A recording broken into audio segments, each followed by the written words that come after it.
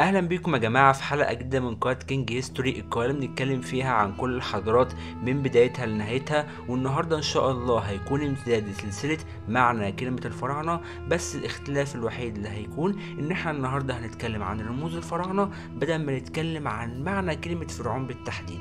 ولما نتكلم عن رموز الفراعنة هنلاحظ إن الفراعنة كانوا بيمسكوا في الصور بتاعتهم صولجانات وعصا وكانت الصولجانات أو العصا رمز عام في السلطة في مصر القديمة. واكتشف المؤرخين أو اكتشف الباحثين واحدة من أقدم الصولجانات الملكية في مقبرة الملك خعسخ موي في أبيدوس وبيوجد عدة صور من عهد الأسرات المبكرة بيحمل فيها الملوك عصا وبيظهر الملك عيج اب من الأسرة الأولى وهو بيحمل عصا في لوحة حجرية بتعود اللوحة دي لسنة 2930 قبل الميلاد ومن أقدم الأمثلة على الصولجانات في مصر في عهد ما قبل الأسرات يعني عهد ما قبل الأسرات هو كان أقدم مثال على حاجة زي كده. وقدر المؤرخين والعلماء إن هم يعثروا على صولجان في مقبرة أبيدوس بيعود تاريخها إلى مرحلة اسمها نقادة التالتة ودلوقتي هنتكلم عن اللحية وكان وجه الفرعون بيظهر في التماثيل وفي صور في العادة إنه خالي من الشعر وحليق يعني محلوق.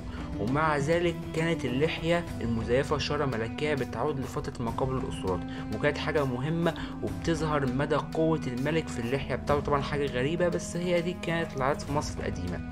وقد تقاسم الفراعنة الصفة دي مع الآلهة يعني الآلهة الذكور كان بيبقى ليهم لحية زي الملوك بالظبط. وساعد في تمييز الفراعنة عن البشر العاديين.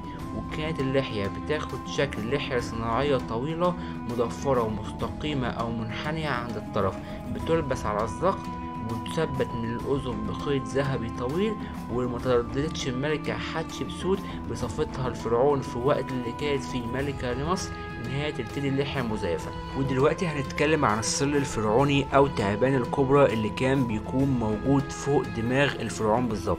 والظل الفرعوني أو تعبان الكبرى كان عادة بيلبس فوق تيجان أو أخطية الرأس للفراعنة وكان أقدم دليل معروف على الظل بيعود لعهد الملك دان من الأسرة الأولى وكان من المفترض إن الكبرى أو الظل بيقوم بحماية الملك من خلال إنه بيطلق النار على أعداء الملك في حالة اتجاههم عليه في وقت الحروب أو في حالة لو اتجه عليه واحد من المحاولات اللي كانت بتحصل لاغتيال الفراعنة.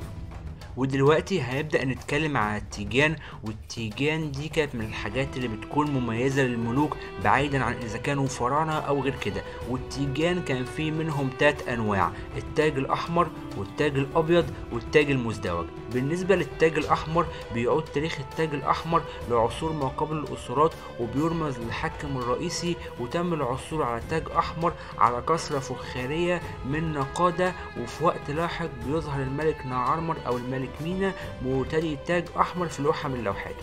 بالنسبة للتاج الأبيض بيعود تاريخ التاج الأبيض لمصر العليا أو إحنا دلوقتي بنسميها الصعيد وبيظهر الملك العقرب الثاني من عصر ما قبل الأسرات وكان مرتدي التاج ده.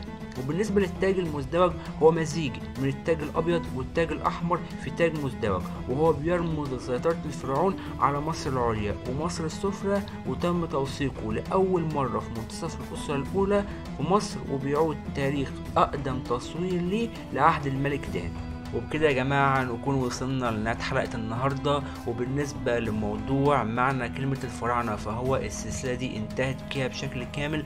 إن شاء الله في حلقات تانية هنتكلم عن مواضيع تانية ممكن تكون مختلفة بس هحاول على أقرب وقت إن أنا ما أحاولش أبعد عن المحتوى الخاص بالفراعنة أو أحاول أجيب حاجة مختلفة وأتمنى إن لو الفيديو عجبكم تعملوا like و subscribe وتشتركوا في القناة وتفعلوا زر الجرس عشان يوصل لكم أي حاجة جديدة أنا بعملها. سلام عليكم.